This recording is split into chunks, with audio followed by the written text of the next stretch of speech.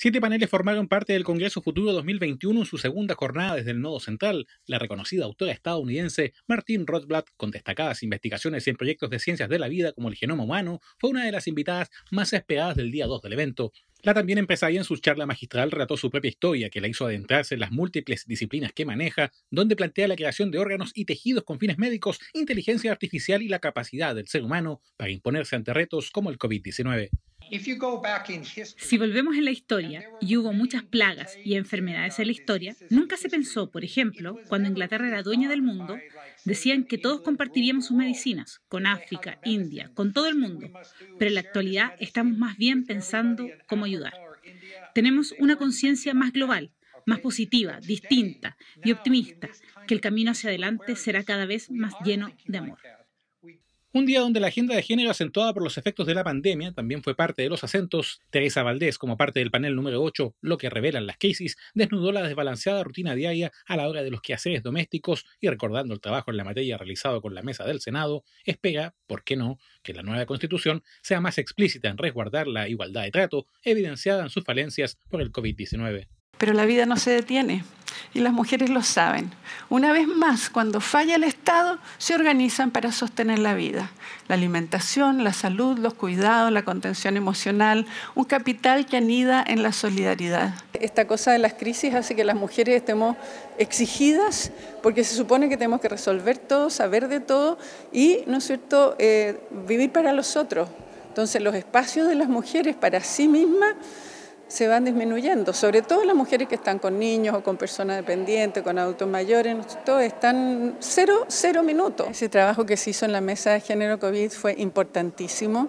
El rol de la, de la senadora Muñoz, de la presidenta del Senado, ha sido clave porque hizo posible que una demanda de las mujeres organizadas en distintas situaciones pudieran situar, ¿no es cierto?, la visión de las mujeres, las urgencias de las mujeres en un poder del Estado. Pero la energía y búsqueda de nuevas alternativas para poner en marcha el futuro es una realidad que ya nos alcanzó y donde ya estamos en riesgo incluso de quedarnos atrás. Esta es parte de la premisa de María Paz de la Cruz acerca del hidrógeno verde, un potencial a explotar por parte de Chile, según esta ingeniera civil industrial con experiencia internacional, expuesto todo en el panel 12 Camino para un futuro verde y que en la previa también comentó con nosotros.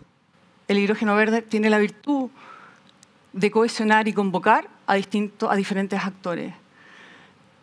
Es transversal políticamente y quizás lo mejor, nos permite soñar con un futuro más sostenible.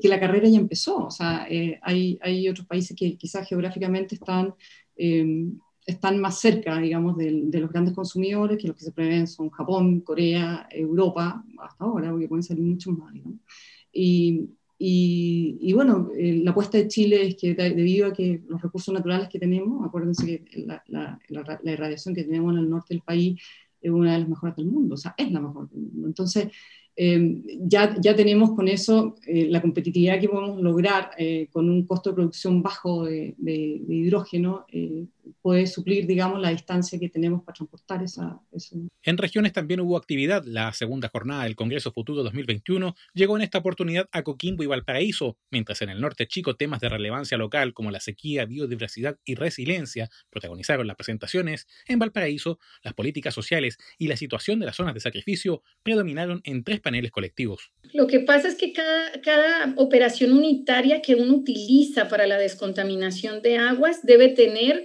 eh, digamos, condiciones, ¿sí? Entonces, por eso les hablaba yo de los tratamientos integrados, porque ¿qué pasa? La gente tiende a pensar que si coloco un proceso de sedimentación me soluciona el problema, y no. Hay que ver dónde, por lo menos ahí, ahorita en algunas industrias vitivinícolas tienen los tratamientos convencionales y es ahí en el punto donde yo les decía, antes de entrar al tratamiento biológico, porque ahí el agua ya está un poco purificada y va a funcionar bien el sistema propuesto. Y los virus tienen vida propia, nos guste o no. Eh, de modo que entonces, de la mano de esta suerte de pesimismo activo, yo diría, eh, sí, pensar el futuro, eh, quizás enfatizar este, en, una, en, una, agenda mucho más modesta, este, pero mucho más realizable. No se necesita mucho dinero para que la gente incorpore la práctica del uso de la mascarilla, Un segundo día de actividades del Congreso Futuro 2021 que mantiene el tono y promete para su tercera jornada un giro en las temáticas y la suma de cinco nuevas regiones con actividades a nivel local.